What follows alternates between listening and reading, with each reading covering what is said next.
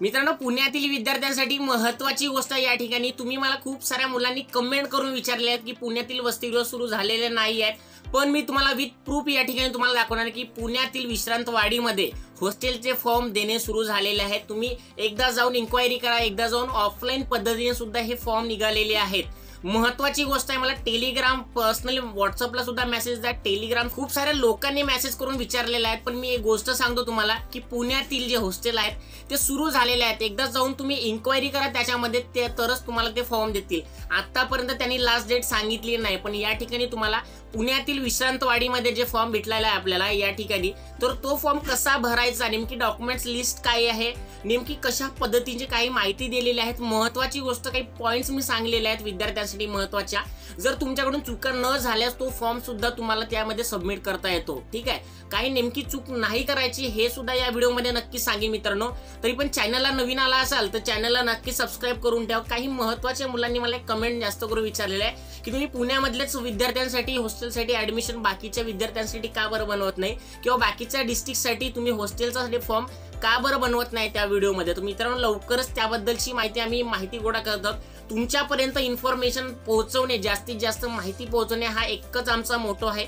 तुमच्यापर्यंत खोटी माहिती पोहोचावी हे सुद्धा आम्हाला महत्वाचं नाही मित्रांनो. खरी माहिती आमच्यापर्यंत येईल तरच ते तुमच्यापर्यंत पोहोचू. आतापर्यंत मी बाकीचे डिस्ट्रिक्टमधले जेवढे काही हॉस्टेलचे फॉर्म इन्फॉर्मेशन काढण्याचा प्रयत्न केला आहे पण आतापर्यंत लातूर औरंगाबाद अमरावती लवकरच मी औरंगाबादचा व्हिडिओ घेऊन येईल. औरंगाबादचे सुद्धा हॉस्टेलचं ऍडमिशन सुरू झालेलं आहे. पण तुम्हाला फॉर्म कसा भरायचा नेमकी काय प्रोसेस आहे हे सुद्धा मी नेक्स्ट व्हिडिओमध्ये सांगेनच. म्हणजे औरंगाबादचा मी व्हिडिओ बनवलेला आहे.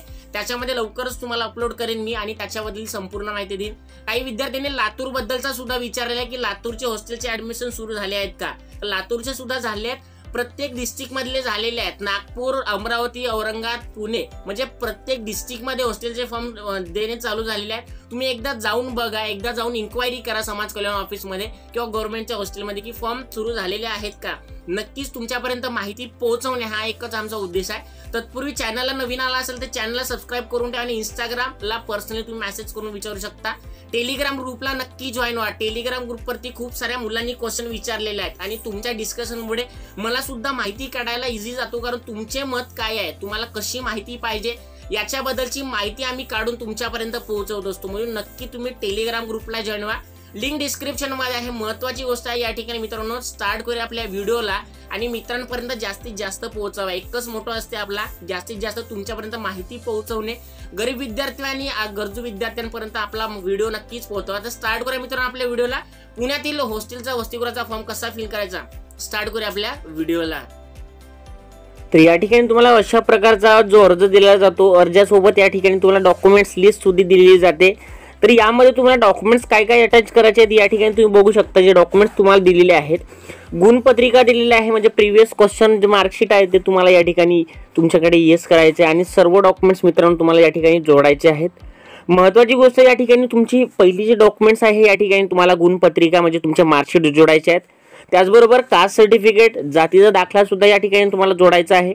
शाळा सोडल्याचं प्रमाणपत्र म्हणजे शाळा सोडल्याचा दाखला त्याला आपण लिव्हिंग सर्टिफिकेट किंवा टी सी म्हणतो ते सुद्धा तुम्हाला या ठिकाणी द्यायचं आहे. आता रहिवाशी दाखला म्हणजे काय? रहिवासी दाखला तुम्हाला जर तुम्ही तिथं राहत असाल त्यामध्ये ग्रामपंचायत असेल नगरपंचायत असेल किंवा नगर परिषद असेल तर त्या ठिकाणी तुम्हाला तो रहिवासी दाखला तुम्हाला मिळतो. तो रहिवासी दाखला तुम्हाला घ्यायचा आहे आणि त्या ठिकाणी तुम्हाला येस असं ऑप्शन टिक करायचं आहे.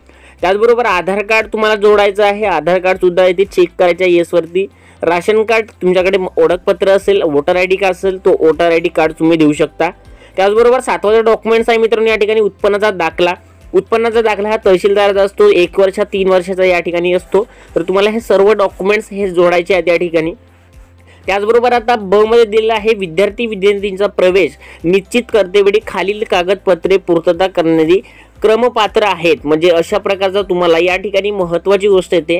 पहिला जो डॉक्युमेंट्स या ठिकाणी दिलेला आहे विद्यार्थ्यांसाठी म्हणजे ज्या विद्यार्थिनींनी कॉलेजमध्ये करंटमध्ये जिथं ॲडमिशन घेतलं आहात त्याची बोनाफाईट मूड म्हणजे तुम्हाला ओरिजिनल बोनाफाईट या ठिकाणी घ्यायची आहे. त्याचबरोबर पाच फोटो घ्यायचे आहेत. पाच फोटो आकाराच्या साईडचे फोटो तीन पाच फोटो तुम्हाला या ठिकाणी लागणार आहेत. वसतिगृहाचा करारनामा म्हणजे पालक व विद्यार्थ्यांचा या ठिकाणी असतो तो तुम्हाला मी सांगेन समोर. येते या ठिकाणी येस करायचा या ठिकाणी. त्याचबरोबर गॅप सर्टिफिकेट असल्यास जर तुमच्या शिक्षणामध्ये गॅप येत असेल डिस्टन्स येत असेल किंवा तुम्ही गॅप घेतलेला असाल तर तुम्हाला गॅप सर्टिफिकेटसुद्धा या ठिकाणी बनवून घ्यायचे आहे. त्याचबरोबर या ठिकाणी एक टीप दिलेली आहे प्रवेश नीतीच्या वेळी पालकांची उपस्थिती अनिवार्य आहे म्हणजे तुम्ही जर ॲडमिशन घेत असतात हॉस्टेलचा तर त्याच्यामध्ये तुमची पालकाची जे उपस्थिती आहे ते अनिवार्य आहे मित्रांनो या ठिकाणी त्याचबरोबर दुसरा जो या ठिकाणी दिलेला आहे यांनी प्रतिज्ञापत्र दिलेलं आहे. मी प्रमाणित कर करण्यात येतो की किंवा करते की वरील सादर केलेली माहिती सर्व माहिती व कागदपत्रे सत्य व ख खरी आहेत. सदर कागदपत्रात काही त्रुटी आढळल्यास किंवा माहिती व कागदपत्रे खोटी आढळल्यास मला वसतिगृहात प्रवेश मिळणार नाही किंवा मिळालेला प्रवेश रद्द होईल अशी त्यास मला सुवासवी व्यक्तीस मी जबाबदार राहीन सबब मी स्वतःचे माझे वडील पालक सही करून देत आहेत. या ठिकाणी तुम्हाला तुम्ही प्रतिज्ञा घेतात. जर तुम्ही काही डॉक्युमेंट्स खोटे आढळल्यास तुम्हाला हॉस्टेलचा जर नंबर लागला असेल तुम्हाला तर या ठिकाणी रद्द करण्यात येईल किंवा तुम्हाला प्रवेश हॉस्टेलसाठी मिळणार नाही. त्याचबरोबर या ठिकाणी तुम्हाला सिग्नेचर करायचं आहे विद्यार्थ्यांची सिग्नेचर आणि त्यांचा मोबाईल नंबर त्याचबरोबर या ठिकाणी तुमचा वडिलांचा पालकांचा मोबाईल नंबर आणि त्यांची सही या ठिकाणी लागणार म्हणजे अशा प्रकारचा तुम्हाला डॉक्युमेंट्स लिस्ट आणि या ठिकाणी तुमचा प्रतिज्ञापत्र होतो. त्याचबरोबर आता फॉर्मकडे वळू आपण. फॉर्म अशा प्रकारचा तुम्हाला दिला जातो. गव्हर्नमेंट हॉस्टेलवर गेल्यानंतर तुम्हाला पुणेमध्ये हा तुम्हाला अशा प्रकारचा फॉर्म दिला जातो. फॉर्ममध्ये मित्रांनो या ठिकाणी तुम्हाला आवेदन जे क्रमांक असते ते लिहिण्याची गरज नाही आहे. त्याचबरोबर तुम्हाला या ठिकाणी गुण जे गुणांची टक्केवारी आहे तुम्ही प्रिव्हियस दहावी बारावीमध्ये घेतली असाल किंवा ग्रॅज्युएशनमध्ये जे टक्केवारी मिळाली तुम्हाला प्रिव्हियस एक्झाममध्ये ते टक्केवारी तुम्हाला या ठिकाणी टाकायची आहे. त्याचबरोबर मित्रांनो या ठिकाणी गृहपाल जे आहेत गृह अधीक्षिका आहेत त्याचबरोबर या त्यांचा नाव वगैरे लिहिलेला असतो त्याच्यामध्ये. त्याचबरोबर या ठिकाणी विद्यार्थ्यांची सही वगैरे लागतो या ठिकाणी तुम्हाला आपला विश्वासू आणि जे असेल ते तुमचं नाव आणि त्या ठिकाणी तुमची सही लागतो. त्याचबरोबर आता या ठिकाणी महत्त्वाची गोष्ट आहे ते अर्जदाराचा पूर्ण नाव म्हणजे अर्जदाराचा पूर्ण नाव लिहायचं कसा या ठिकाणी त्यांनी दिलेलं आहे. अगोदर तुम्हाला या ठिकाणी आडनाव लिहावं लागेल. आडनावापासून तुमचं नाव आणि तुमच्या वडिलांचं नाव अशा प्रकारचे. म्हणजे तुम्हाला बारावी किंवा दहावीच्या मार्कशीटवर जसा तुमचं नाव असतो त्याचप्रमाणे तुम्हाला या ठिकाणी तुमचं नाव लिहायचं आहे. आणि त्याचबरोबर वडिलांचे पूर्ण नाव लिहायचे आहेत आईचे पूर्ण नाव लिहायचे आहेत. त्याचबरोबर तुमच्या आई वडिलांचा कायमचा पत्ता पिनकोडसह तुम्हाला या ठिकाणी लिहायचा आहे. त्याचबरोबर सहावा जो आहे अर्जदाराचं जन्म ठिकाण व जन्मस्थळ तुम्हाला जन्म कुठं झाला जन्म दिनांक काय आहे ते सुद्धा या ठिकाणी तुम्हाला लिहायचे मित्रांनो. त्याचबरोबर या ठिकाणी अर्जदाराच्या पालकाचे नाते असल्यास क्रमांक या ठिकाणी तुम्हाला द्यायचे आहे. पालकाचे नाव दूरध्वनी क्रमांक जवळ नसल्यास दूरध्वनी जे क्रमांक आहे त्याचा कोड क्रमांक या ठिकाणी मग तुमचे वडील या ठिकाणी तुमचा नाव लिहायचं आहे तुमच्या वडिलांचा आणि त्यांचा मोबाईल नंबर तुम्हाला लिहायचा आहे. आठवा जो पॉईंट दिलेला आहे मित्रांनो आठवा ज्या वसतिगृहात प्रवेश करतात आवेदनपत्र भरले आहेत. त्या शहरात राहणाऱ्या जवळच्या नातेवाईकाचे नाव व पत्ता असल्यास आणि दूरध्वनी क्रमांक असल्यास ज्या हॉस्टेलवर तुम्ही राहता आणि ज्या हॉस्टेलजवळ तुमचे कोणी रिलेटिव्ह असतील नातेवाईक असतील त्यांचा जवळच्या नातेवाईकाचं नाव तुम्हाला या ठिकाणी द्यायचं आहे. त्याचबरोबर आता नव्वद जो पॉईंट आहे. मित्रांनो अर्जदारच्या मागील तीन वर्षाची शैक्षणिक माहिती तुम्ही या ठिकाणी देऊ शकता. दहावी बारावी देऊ शकता. ग्रॅज्युएशन झालं असेल तुम्ही ग्रॅज्युएशनसुद्धा या ठिकाणी माहिती फिल करू शकता. आता माहिती कशी फिल करायची या ठिकाणी दिलेलं आहे बॉक्समध्ये दिलेलं आहे. तुम्हाला सर्वात अगोदर या ठिकाणी the H S S C लिहायचं आहे. त्याच्याबरोबर एच एस सी लिहायचं आहे. ग्रॅज्युएशन झालं असेल ग्रॅज्युएशन लिहायचं आहे. त्याचबरोबर अभ्यासक्रमाचे नाव म्हणजे तुमचं आर्ट झालं असेल कॉमर्स झालं असेल सायन्स झालं असेल ते. त्याचबरोबर महाविद्यालय शाळेचे नाव तुम्हाला या ठिकाणी लिहायचे आहे. त्याचबरोबर एकूण गुण लिहायचे आहे तुम्हाला त्याचबरोबर ऑप्टेन मार्क म्हणजे प्राप्त गुण आणि गुणांची टक्केवारी. म्हणजे अशा प्रकारची तुम्हाला या ठिकाणी मित्रांनो माहिती भरायची आहे. तुमच्या मागील तीन वर्षाची शैक्षणिक माहिती भरायची आहे. त्याचबरोबर दहावा जो पॉईंट आहे अर्जदारच कोणत्या इस्ते इयत्तेत प्रवेश घ्यायचा आहे? म्हणजे तुम्ही ज्या करंटमध्ये आता जिथं अभ्यासक्रमासाठी प्रवेश घेतला आहे त्या प्रवेशक्रमाची थोडी माहिती या ठिकाणी द्यायची आहे की कोणत्या प्रवेशसाठी तुम्ही कोर्ससाठी प्रवेश घेतलेला आहात. त्याचबरोबर अकरावा जो पॉईंट आहे अर्जदार कोणत्या जिल्ह्याचा रहिवासी आहे त्या जिल्ह्यात अभ्या हा अभ्यासक्रम आहे की नाही? म्हणजे बघा यासल्या या ठिकाणी महत्त्वाची माहिती आहे तुम्हाला प्रॉपर पद्धतीने या ठिकाणी फील करायची आहे माहिती. त्याचबरोबर आता मित्रांनो या ठिकाणी आता त्याचबरोबर मित्रांनो या ठिकाणी तुम्हाला डिटेल्स भरून झाल्यानंतर जो बारावा पॉईंट येतो बारावा पॉईंट म्हणजे या ठिकाणी अर्जदार कोणत्या प्रवर्गातील आहे? बघा या ठिकाणी कॅटेगरी वाईज तुमचा हॉस्टेलचा ॲडमिशन सुद्धा कॅटेगरी वाईज लागतो. कॅटेगरी असणार कट ऑफ सुद्धा असतो. जो तुम्हाला या ठिकाणी परिपूर्ण माहिती बरोबर प्रॉपर फील करायची आहे. तुमची कॅटेगरी सिलेक्ट करायची आहे त्याच्याबरोबर जात त्या ठिकाणी लिहायची आहे. बघा या ठिकाणी आता अपंग विद्यार्थ्यांसाठी जे विद्यार्थी हँडिकॅप आहेत अर्जदार अपंग आहे का? असल्यास अपंगाची टक्केवारी सुद्धा तुम्हाला जायची आहे. आणि तुमचे डिसॅबिलिटी सर्टिफिकेट जे असते ते सुद्धा या ठिकाणी तुम्हाला मेन्शन करायची आहे.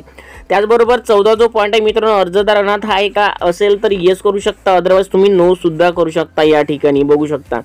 त्याचबरोबर आता मित्रांनो तुम्हाला पंधरा जो पॉईंट दिलेला आहे अर्जदारास यापूर्वी शासकीय वसतिगृहात राहत होता का? जर राहत असाल तुम्ही याच्या अगोदर सुद्धा तर तुम्हाला येस किंवा अदरवाईज नो सुद्धा करू शकता.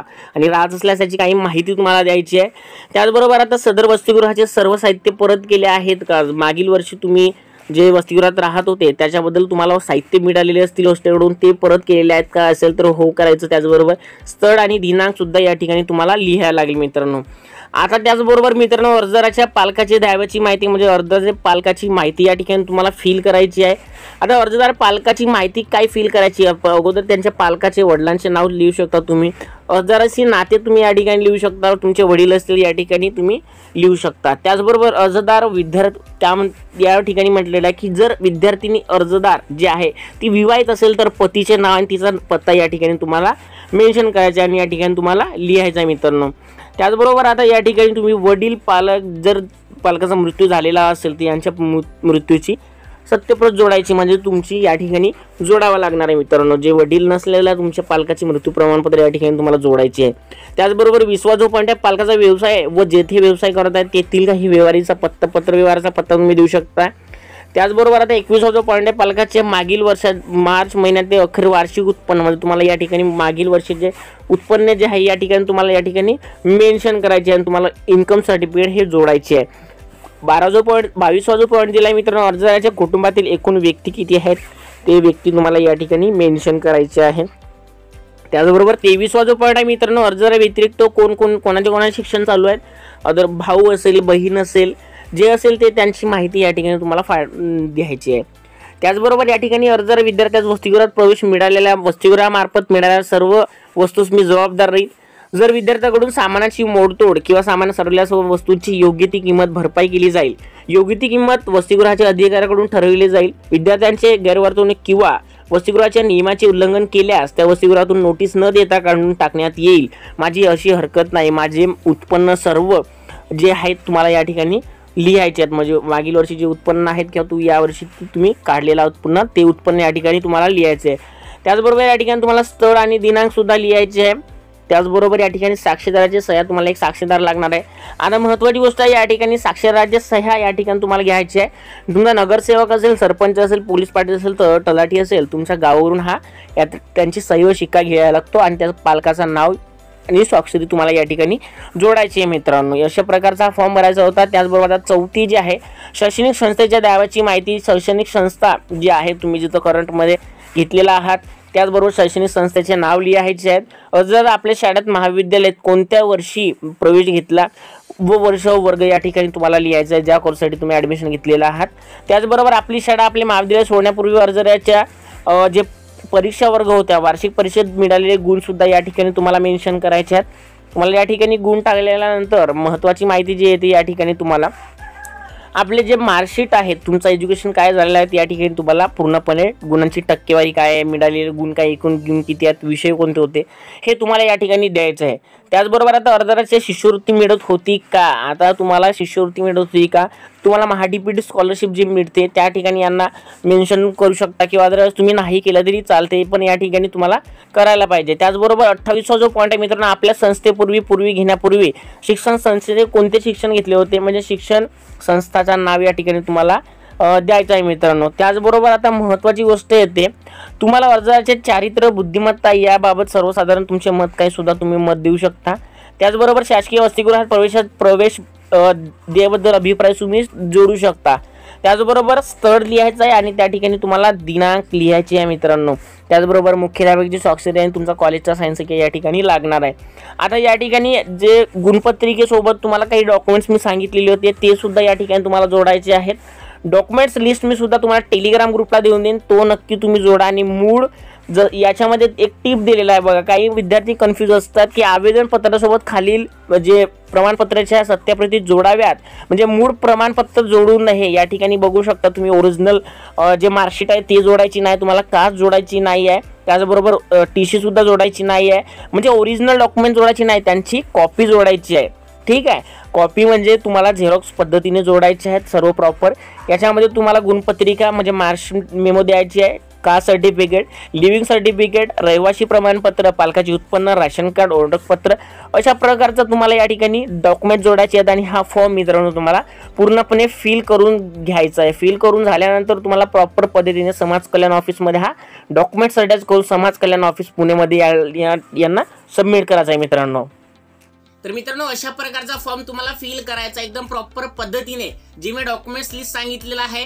डॉक्युमेंट्स लिस्ट बरोबर अटॅच करायचे एकही चूक न करता तुम्हाला या ठिकाणी फॉर्म भरायचा आहे. फॉर्मची पीडीएफ मी टेलिग्राम ग्रुपला नक्की जॉईन करीन. त्याच्यामध्ये सर्व मुलांसाठी पुण्यातील काही महत्त्वाचे मुलं मला कमेंट करून विचारत आहेत की त्याच्यामध्ये आम्हाला पुण्यातीलच माहिती पाहिजे. आणि महत्त्वाची गोष्ट या ठिकाणी तुम्ही डिस्कशनमध्ये जे चॅट करता किंवा डिस्कशन होते तुमचा त्यामध्ये मित्रांसाठी एक महत्त्वाची गोष्ट आहे की कुणीही निगेटिव्ह कमेंट करू नका. विद्यार्थ्यांना कन्फ्यूज करण्यासारखा कमेंट तुम्ही नक्की करू नका त्याच्यामध्ये. महत्त्वाची माहिती आहे तुम्ही पर्सनली त्यांना डीएम करा असं काही मेसेज करू नका. प्लीज मी सांगतो की काही विद्यार्थी होप असे त्यांची की आमच्यापर्यंत माहिती ते पोहोचवणार. तर आम्ही नक्कीच तुमच्यापर्यंत खरी माहिती पोहोचू. पण विद्यार्थ्यांपर्यंत एक नक्की मी तुम्हाला सांगतो की आमच्या टेलिग्राम ग्रुपपर्यंत जॉईन करा. कारण महत्त्वाच्या जे एज्युकेशन अपडेट असतात काही महत्त्वाच्या योजना असतात. रिसेंटली मध्ये मी साठ हजार रुपये त्याच्यामध्ये जी स्कॉलरशिप असते विद्यार्थ्यांना रिसेंटली मध्ये स्वादरेवनी साठ हजार रुपये स्कॉलरशिप आली. एन टी विद्यार्थ्यांसाठी काय आहे? एन बी विद्यार्थ्यांसाठी सुद्धा आहे. एस बी सी विद्यार्थ्यांसाठी सुद्धा आणि ओबीसी विद्यार्थ्यांसाठी सुद्धा महत्त्वाचे काही स्कॉलरशिप आहेत ओबीसी विद्यार्थ्यांसाठी लवकरच मी स्कॉलरशिप घेऊन येणार आहे. त्याच्याबद्दलची संपूर्ण माहिती तुम्हाला. की नेमकी काय प्रोसेस असते? आतापर्यंत आपण हॉस्टेलचा सीझन चालू आहे. त्याच्यामुळे मित्रांनो तुम्हाला हॉस्टेलची अपडेट भेटत आहे. पण लवकरच तुम्हाला आता कॉलेज सुरू झाल्यानंतर तुमची स्कॉलरशिप महत्वाची असते. विद्यार्थ्यांसाठी हॉस्टेलला ऍडमिशन नाही लागला तर स्वाधार योजना भेटतो. एस सी आणि एन बी विद्यार्थ्यांसाठी. ते योजना तुम्हाला केव्हा लागू होतो? कॉलेज स्टार्ट झाल्यानंतर. ज्या विद्यार्थ्यांना हॉस्टेलचा फॉर्म भरलेला नाही किंवा हॉस्टेलला नंबर लागला नाही अशा विद्यार्थ्यांसाठी स्वाधार योजना सुद्धा भेटतो. काही पंडित दीनदयाळ स्वयं योजना सुद्धा आहे. त्याच्यामध्ये मित्रांना एस बी सी विद्यार्थ्यांना सुद्धा त्याच्यामध्ये आहे एन टी विद्यार्थ्यांना सुद्धा आहे एस सी विद्यार्थ्यांना सुद्धा आहे. म्हणजे चार पाच कॅटेगरीच्या विद्यार्थ्यांना त्यातून स्कॉलरशिप भेटत असतो म्हणजे शिक्षणासाठी. जर तुम्हाला हॉस्टेलला नंबर लागलेला नसेल किंवा महत्त्वाच्या काही योजना आहेत त्याच्याबद्दल तुमच्यापर्यंत माहिती पोहोचणे हा एकच आमचा मोठा आहे. म्हणून जास्तीत जास्त विद्यार्थ्यांपर्यंत पोहोचवा. त्याच्यामध्ये मित्रांनो तुम्हाला महत्त्वाचे अपडेट्स भेटत असतील आणि महत्त्वाचे एज्युकेशनल अपडेट आल्यानंतर आम्ही नक्कीच तुमच्यापर्यंत पोहोचू. व्हिडिओ आवडल्यास व्हिडिओला लाईक करा चॅनलला सबस्क्राईब करा. भेटूया मित्रांनो पुढच्या व्हिडिओमध्ये आजच्यासाठी फक्त एवढाच. जय महाराष्ट्र.